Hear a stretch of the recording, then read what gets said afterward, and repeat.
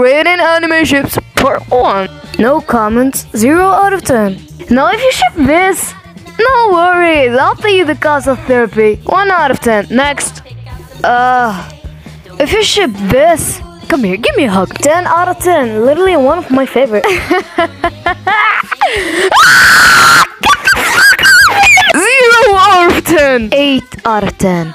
I love this one, but I see them more like besties than lovers. But they say it's always bros before hoes.